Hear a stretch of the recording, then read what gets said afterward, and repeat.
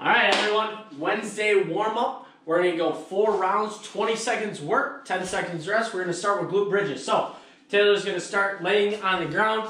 Okay, feet are to be flat, flat on the ground, knees up about uh, squat stance away with your feet. Okay, you're to press the upper back into the ground, raise your hips, squeeze in the glutes and the hamstrings. Okay, 20 seconds, nice, slow, and controlled. Uh, give like a second or two pause at the top of each rep. After that, you're to hop on up. We're going jump jacks. Okay, take you back to grade school. Perfect. Good jump jacks. Okay, after that, we're going to go single leg deadlift balances.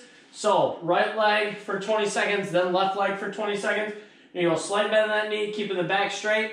What I'd like you to do instead of just right hand touching is go both hands touch and stay a little bit more squared like Taylor does on that left leg now. Okay, so you go 20 seconds on the right, 10 second rest, then 20 seconds on the left, 10 second rest. And then we're gonna end it with hand release push up. So down into a push up position.